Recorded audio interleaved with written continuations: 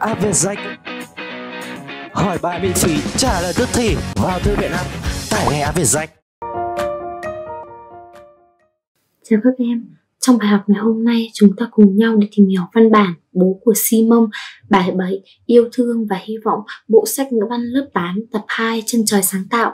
Đầu tiên chúng ta sẽ đi vào phần chuẩn bị đọc. Ở đây chúng ta trả lời câu hỏi trang 25. Sự yêu thương cảm thông giữa người với người có ý nghĩa như thế nào? Thì ở phần này chúng ta có thể thấy sự yêu thương và cảm thông giữa người với người thì nó mang lại cái tình yêu thương niềm vui, sự tin tưởng vào bản thân và cuộc sống, giúp cho con người có thêm sức mạnh vượt qua khó khăn và hoạn nạn. Người nhận được tình yêu thương sẽ cảm thấy ấm áp và hạnh phúc. Người thể hiện tình yêu thương với người khác thì cảm thấy vui vẻ, đồng cảm và được mọi người yêu quý, kính trọng.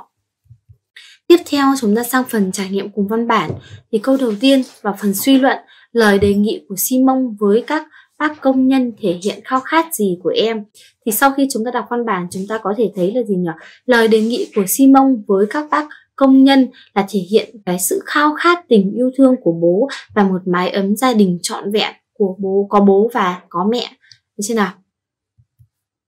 Chúng ta sang câu thứ hai là vì sao bác Philip đề nghị mẹ Simon làm vợ của mình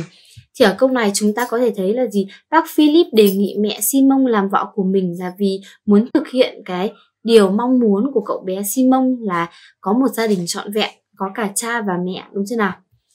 Vậy thì sau khi chúng ta đọc văn bản xong, chúng ta có thể thấy được là nội dung chính của văn bản là bố của Simon là một cái câu chuyện nói về cậu bé Simon mồ côi bố bị các bạn bắt nạt và xa lánh. Và Simon thì cảm thấy tuyệt vọng và đau khổ đến mức là từng muốn nhảy sông cho chết đuối. Tuy nhiên thì sau khi gặp được bác Philip và bác Philip đã bắt chuyện với em và đưa em về nhà. Sau đó thì muốn ngỏ lời lấy mẹ của Simon để Simon có một gia đình trọn vẹn đúng chưa nào? Vậy để tìm hiểu kỹ hơn thì chúng ta sang à, câu 1 trang 30 xác định đề tài của chuyện bố của Simon thì ở phần này chúng ta có thể thấy là gì nhỉ? Tác phẩm viết về đề tài là những đứa trẻ không có bố và bất hạnh đáng thương của một đứa cậu bé mà không có gia đình trọn vẹn đúng chưa nào? Vậy sang câu thứ hai là trong chuyện chi tiết bác Philip nhận lời làm bố của Simon được kể mấy lần, so sánh các lần kể ấy theo bảng dưới đây và nêu tác dụng của việc lặp lại chi tiết đó thì chúng ta sẽ kẻ bảng giống như trên slide cô đã trình bày. Ở phần này chúng ta có thể thấy là gì? Các yếu tố so sánh thì chúng ta sẽ tìm vào các yếu tố như là bối cảnh, người đưa ra đề nghị, câu nói của bác Philip khi nhận lời, phản ứng của chị Blanchot hay là câu thông báo của Simon với các bạn học, phản ứng của các bạn học như thế nào. Thì ở đây có lần đầu như thế nào và những cái lần khác thì các bạn theo dõi trên slide nhé. Vậy thì ngoài cái bảng đấy ra thì chúng ta thấy là cái việc mà tác giả lặp lại các cách uh, cái tác dụng của việc lặp lại các chi tiết mà bác Philip nhận lời làm bố của Simon thì chúng ta thấy được là nó thể hiện cái sự tốt bụng, giàu lòng yêu thương và khao khát của uh, bác Philip đúng không nào muốn cho Simon có một gia đình trọn vẹn và thể hiện cái mong ước hạnh phúc quyền tôn trọng và yêu thương những người phụ nữ mà có một lần lầm lỡ như là chị Blanchot đúng chưa? Rồi qua sang câu 3 là cách nhìn của tác giả về chị Blanchot và Simon có gì khác biệt với cách nhìn của người dân trong vùng? Và cách nhìn đấy gợi cho em cái suy nghĩ gì về lòng yêu thương con người. Ở đây chúng ta có thể thấy là cái cách nhìn của người dân trong vùng về chị Blanchot và Simon là một cái nhìn mà định kiến, hà khắc, phân biệt đối xử với một người ờ, bị lầm lỡ đúng không nào? Và công và đứa trẻ không không có một gia đình trọn vẹn và chính cái thái độ này đã làm cho lũ trẻ kỳ thị và trêu chọc Simon thay vì là yêu thương và cảm thông với cậu bé. Còn về cách nhìn của tác giả dành cho những người phụ nữ lỡ lầm như chị bằng băng sốt là những chú bé mà không có bố là cái nhìn thấu hiểu, sự yêu thương và nhân văn khác với cái nhìn nặng nề của xã hội đương thời. Với cái nhìn của tác giả gợi cho chúng ta thấy được những cái suy nghĩ sâu sắc và lòng yêu thương con người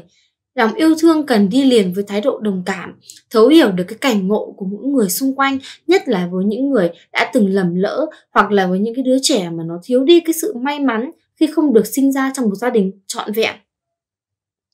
Ngoài ra cái lòng yêu thương đấy còn xóa đi cái mọi cái định kiến xã hội, giúp cho người ta đối xử với nhau nhân văn hơn biết uh, nhận được cái giá trị về cái cuộc sống cái giá trị về cái tình yêu thương của những con người như là cái cách mà bác Philip đã ghi nhận cái giá trị của bà của chị bà Lăng Sốt ngoài ra thì cái lòng yêu thương cũng đem đến cho người ta những cái niềm tin cái sự hy vọng về những cái điều đẹp đẽ trong xã hội Chúng ta sang câu 4 là em có đồng tình với lời hứa của bác Philip là sẽ kéo lại tất cả những đứa nào bắt nạt Simon hay không và vì sao?